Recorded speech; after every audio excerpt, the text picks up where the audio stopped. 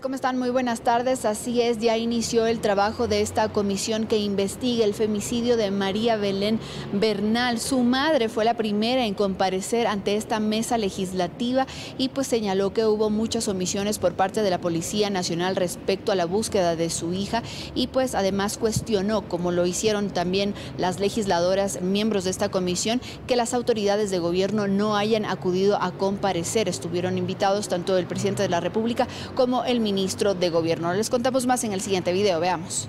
Es la cuarta vez que Elizabeth Otavalo habla sobre lo ocurrido con su hija el 11 de septiembre en la Asamblea Nacional. Esta vez fue en la comisión ocasional que investiga el femicidio contra Belén Bernal. Otavalo hizo una línea de tiempo desde que se enteró que su hija estaba desaparecida. Cometieron omisiones dentro de los primeros días.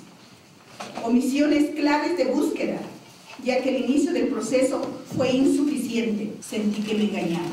Cree que hubo muchas irregularidades cuando encontraron el cuerpo de su hija. La policía menciona que fueron al cerro Casitagua a la una de la madrugada, sin que haya presencia ni de la fiscalía ni de familiares.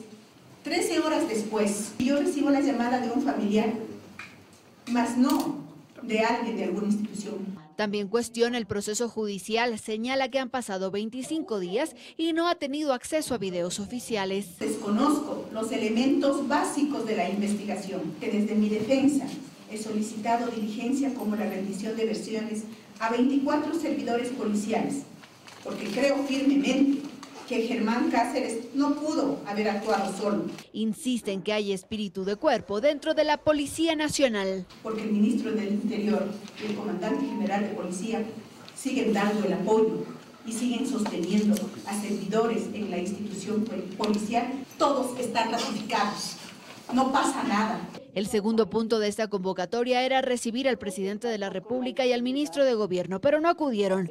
Esto causó malestar entre los asambleístas. No es a nosotros a quien le hacen desaire, sino, insisto, a las cientos de madres, de mujeres y de hijas que han sido víctimas porque tienen familiares víctimas de violencia eh, de género. Según la presidenta de esta comisión, insistirán en la comparecencia de las autoridades de gobierno para que esclarezcan los hechos. Y bien, la comisión continuará con su trabajo y con las comparecencias que están planeadas, pues tienen previsto ya tener un informe respecto de esta investigación a los primeros días del mes de noviembre. Nosotros estaremos pendientes de, aquello. Ustedes tienen más noticias. Muy buenas tardes.